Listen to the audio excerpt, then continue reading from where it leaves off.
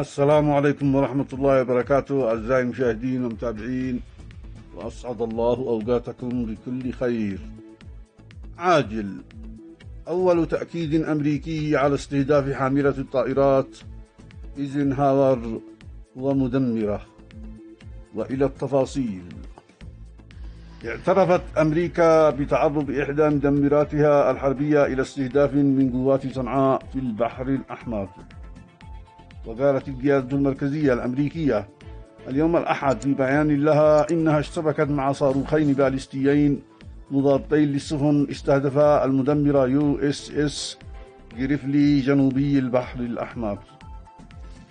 مضيفة أنها اشتبكت مع طائرة مسيرة جنوبي البحر الأحمر معترفة بعدم تمكنها من اعتراض طائرتين مسيرتين في البحر الأحمر. وأكدت القيادة المركزية الأمريكية أن هذه الطائرات بدون طيار والصواريخ البالستية المضادة للصواريخ تشكل تهديدا وشيكا للولايات المتحدة وقوات التحالف والسفن التجارية في المنطقة. يأتي ذلك بعد أن أعادت حاملة الطائرات الأمريكية يو إس إس ايزنهاور كموضوعها عقب إعلان قوات صنعاء استهدافها للمرة الثانية شمالي البحر الأحمر حيث بينت مواقع ملاحية عالمية إبحار حاملة الطائرات إيزنهاور شمالا مبتعدة أكثر من 110 أميال بحرية لتتمركز قبالة سواحل مدينة جدة بعيدا عن سواحل اليمن. وجاءت إعادة تموضع حاملة الطائرات إيزنهاور بعد أن ظلت متمركزة قبالة شواطئ القنفذة حتى 31 مايو الفائت.